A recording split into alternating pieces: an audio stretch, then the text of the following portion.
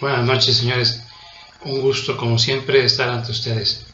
Hay tantas cosas que hacer, que decir, perdón, que comentar. Nuestro país se deshace a girones y el gobierno parece que no sabe ni en dónde está parado. Todo está bien, no hay violencia, no hay inflación, no hay escasez de cosas, que no son muchas la verdad, pero sí ya empieza la gente a no poder comprar, que yo creo que no es que sea la escasez de alimentos, sino más bien la escasez de dinero. Cada día le alcanza menos al mexicano para poder este, comprar cosas.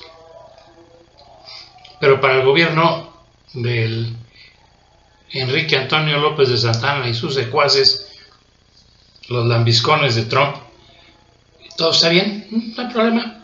Debemos de reconocer los logros, sí, los logros que han hecho ellos, para ellos. ¿sí? Ellos se han robado, como decíamos, la quinta y los mangos. No han dejado nada. Han vendido la patria miserablemente. Pero bueno, este, ya llegaron a un acuerdo para aparentemente con el movimiento de reclusos no adaptados, este, o sea, Morena, en donde pues, eh, mientras más este, eh, prófugos de la justicia haya, es mejor. Eh, el día de hoy, hace unos un par de horas, me llegó un mensaje de que en Carmen Aristegui estaban, yo no lo he leído, pero ahí lo tengo, estaban comentando que ya el INE, Lorenzo Córdoba, el infeliz ese, este, de la raza superior, el que discrimina a los mexicanos, este, descendientes de, de las tribus originarias de este país, ese que se cree mucho, que no es más que un pobre imbécil, ¿eh? este, ya él y sus secuaces este, ya dieron por bueno que no hay ningún inconveniente para que Nestora Salgado sea candidata de el movimiento de reclusos no adaptados. Este, ese movimiento ya lo compró, ya le compraron el, el registro, cuánto le pagaron, que nos diga Lorenzo Córdoba cuánto recibieron ellos para hacer ese registro, porque de entrada tiene varias cuentas pendientes con la justicia. No es cierto que ya haya acabado, en lo más mínimo. Ella tiene todavía cuentas con la justicia.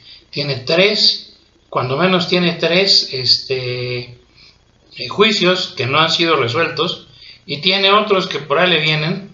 Ayer estábamos viendo a, al, Fernando Martí y a, esta otra política, la señora Wallace, Isabel Miranda de Wallace, los dos metidos a políticos después de, la, después de sus tragedias, porque sí fueron tragedias. Imagínense, a Fernando Martí le mataron al hijo y después se ha dedicado a andar en todos los eventos de los políticos, sus amigos, y sí, su amigo de los, de los politiqueros. Le han dado negocio, seguramente ya no le pueden regresar al hijo, es cierto. Entonces, bueno, de lo perdido, lo que aparezca. Señor Martí, de veras, quizás tenga razón en lo que estaban diciendo ayer usted, pero vamos, ya no tiene cara. ¿sí? Deslíndese, se debería de haber deslindado de hace mucho de las gentes que han permitido que el país esté como esté y que su hijo esté muerto. ¿sí? Está usted como los, como los estos, igual que Isabel Miranda de Wallace, este, que le secuestraron al hijo. Debe ser terrible, terrible. No lo dudo, el suyo, pues peor tantito, ¿no? Le mataron al hijo. Si un secuestro es duro, un, un asesinato debe ser peor. Y estaban ustedes como los, los Colosio, que mataron al hijo, supuestamente. Yo sostengo que no, que no está muerto. Este, es una línea de investigación que nunca van a querer abrir, este, la que yo dije en su momento, no ahorita, yo lo dije a, los dos días este, de que hicieron el teatrito ese de la, de la salida de Colosio del, de, la, de la campaña política, entonces del 94, sí, del 94. así es que este, están ustedes como es la familia de él, pues vengan, vénganos a tu reino. El señor fue senador, el papá de él fue senador, que señor ni que ocho cuartos. El individuo este fue, aceptó ser senador por el partido que supuestamente había matado a su hijo, tan no pues, que lo aceptó. Entonces, este, pero bueno, cada quien con su cada cual. Hoy, Lorenzo Córdoba se llena la boca Primero se llenó los bolsillos seguramente y ahora se, después se llenó la boca diciendo que Nestora Salgado puede ser candidata, que no hay ninguna objeción para su candidatura. Nada más que le recuerdo a este baboso que yo sí sé de leyes. No soy abogado, no para nada, pero sé algo de leyes. ¿Y sabes qué, imbécil? Hay una cosa que se llama constitución. Ya sé que a ti no te interesa, ni a tus secuaces, ni a, ni a tus patrones, que para eso estás ahí, para estar de lambiscón y llenándote los bolsillos de dinero. Hay una cosa que dice que entre los requisitos dice que debe ser mexicano. Y Nestora, Nestora lo han dicho todos ahorita ya, está con la nacionalidad gringa. Así es que está impedida, baboso.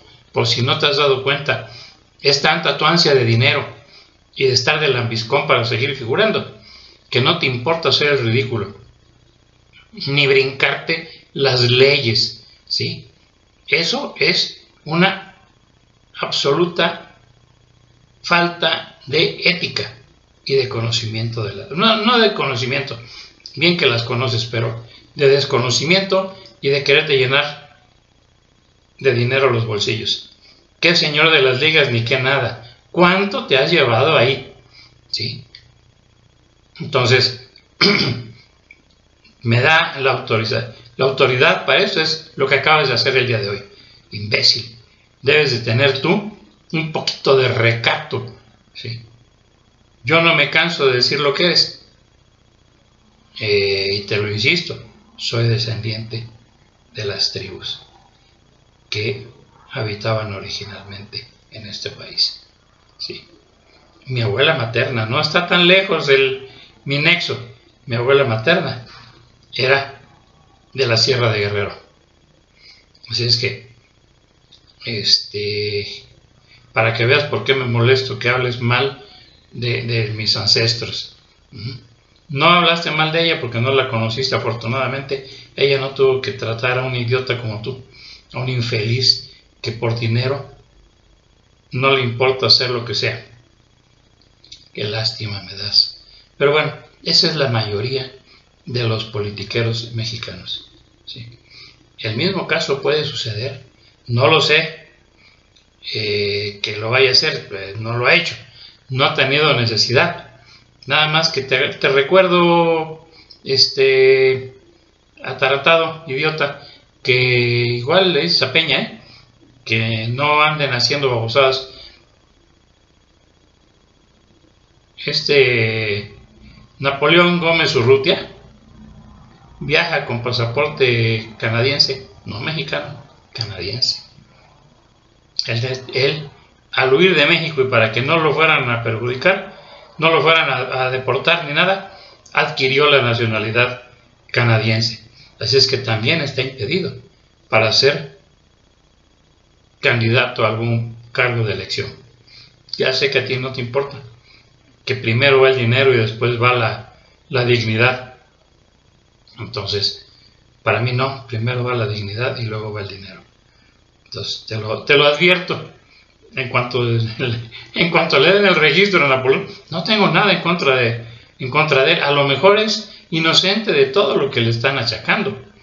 Yo no puedo saber, no, no sé bien a bien todo lo que sucedió en su proceso.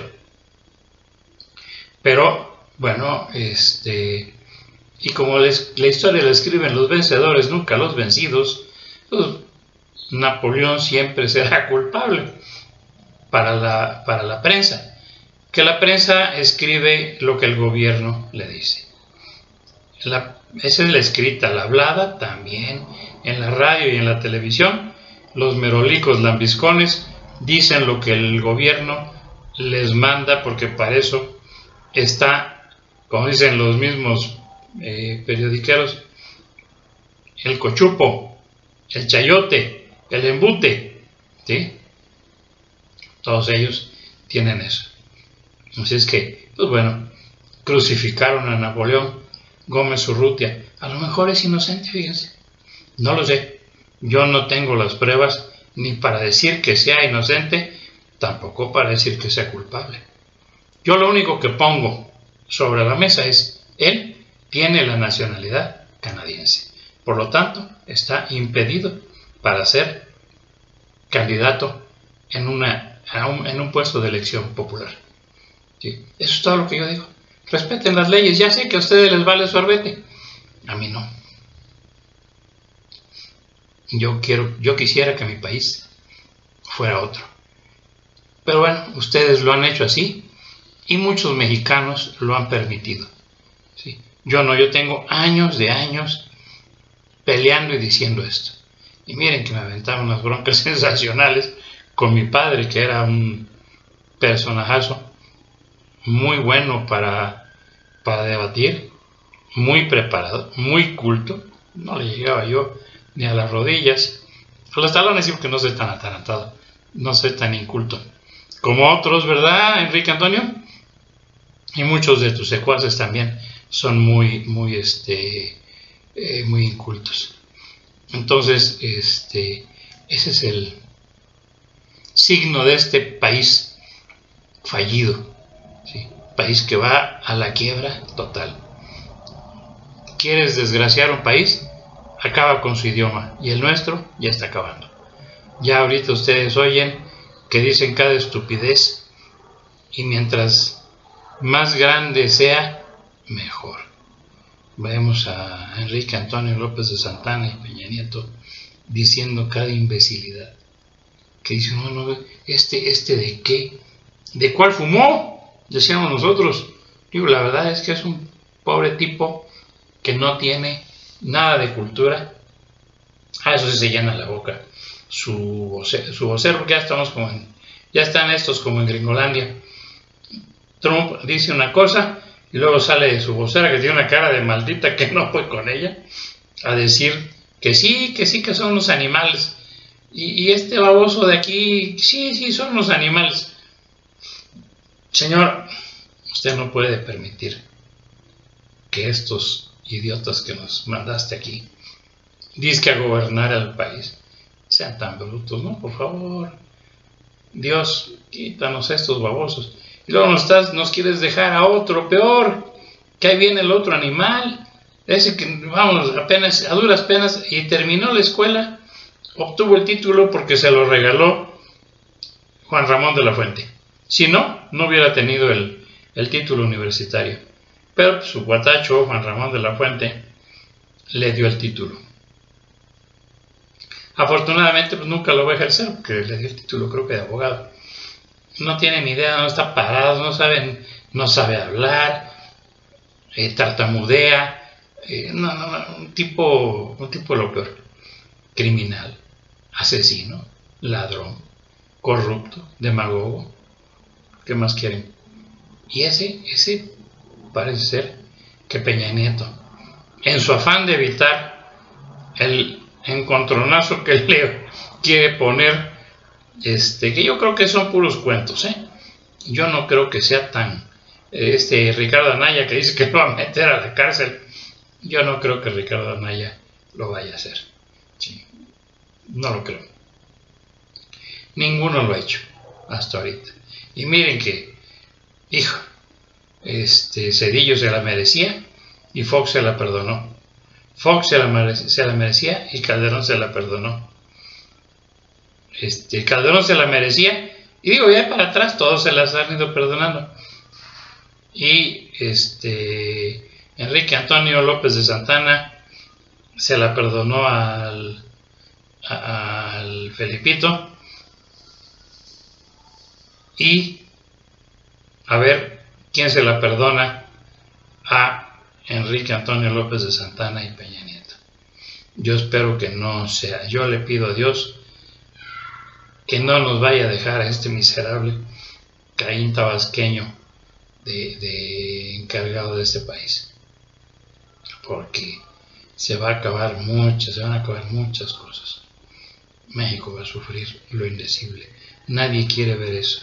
La gente eh, pobre, la gente de la clase media, están endiosadas con este imbécil, este asesino. Les digo, es un tipo lo peor. Un tipo que alcanza, que se avienta la puntada de matar al hermano. Ay, híjole no está nada bien de sus facultades mentales. ¿eh? Pero bueno, a Enrique Antonio lo único que le importa, Vázquez, este, López de Santana y Peña Nieto, lo único que le importa es no tener que ver, que entregarle la banda presidencial a Ricardo Anaya. Porque si ya el otro le dijo que lo quiere meter a la cárcel, ya este está muy espantado, sabe que se la merece. Pero no, mire, hagan bien hagan bien las, cosas. Eh, ¿A quién le pertenecen las cartas de transferencia de cada uno de los candidatos? Margarita era este, socia de, bueno, no socia ella, sino que su marido se la perdonó a, a Peña Nieto y lo dejó que llegara y le entregó el país a Peña Nieto. Así es que Margarita era gente de, es gente de Carlos Salinas. El Bronco, ni se diga. Él mismo lo ha dicho, yo soy muy amigo de Carlos Salinas de Gortari y cuando él, Carlos I el usurpador, Salinas de Gortari, y cuando él anda acá por mi terruño, le llamo y platicamos largo y muy amenamente. Este, ay, ¿a quién quieren? Meade, pues es del PRI, era, él, él, lo seleccionó, así es que no hay bronca. Este, Ricardo Anaya es concuño de Raúl Salinas de Gortari, el hermano incómodo.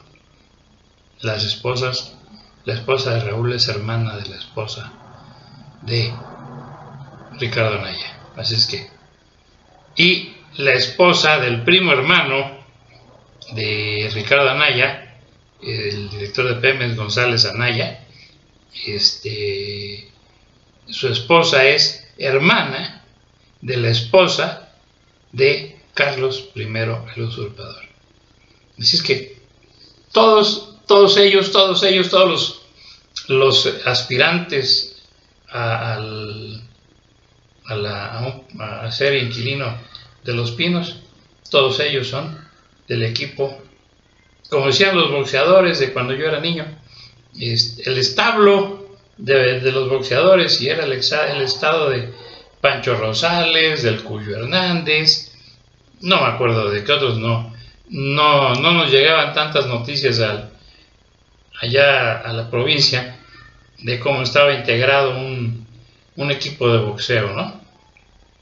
Me acuerdo porque, bueno, se oía mencionar mucho, Pancho Rosales fue el entrenador de, Raúl el Ratón Macías, este, el ídolo de Tepito, muy fino para boxear. No tenía punch, pero boxeaba bien. Este, y tenía otros muchos, Pancho Rosales. Eh, el Cuyo Hernández tenía también un montonal de... Y los dos tenían campeones. Cuando de a de veras eran boxeadores. No como ahora que hay algunos todos son matalotes y hay uno que otro que tiene pegada, tiene punch, como aquel, ¿se acuerdan ustedes de el Cañas, Carlos Sádrate? Hijo, dicen que pegaba como pata de mula. Este, Alfonso Zamora, otro. En fin, todos ellos eran gentes de bien, no como los politiqueros de ahora. Entonces, que Dios no permita que este infeliz tirano de pacotilla que quiere ser el dictador de este país llegue a ese lugar. ¿Sí? Señores, yo quisiera alargarme. Tengo mucho para decirles, pero ya, ya es, casi es la hora. Entonces le digo, yo es todo lo que le digo a, a los del INE. Renuncien todos en bola, todos, todos, por lo que acaban de hacer hoy. Ya había, traían la, traían mucha cola que les pisaran. Pero ahorita con lo de Nestora, que se larguen todos. Todos los del INE deben de ser procesados. Deben de estar en la cárcel por andar infringiendo la ley que se llama constitución política. ¿Cuánto les dieron a cada uno para que siguieran adelante con la pantomima de que Nestora tenía la capacidad? No tiene la capacidad y no tiene los requisitos. Ella es súbdita de Gringolandia, no de México. Así es que, y, ella misma lo dijo. Si yo, a, mí yo échenlo para abajo porque a mí nunca me trajeron al, a, la, gente del consulado para que me defendiera.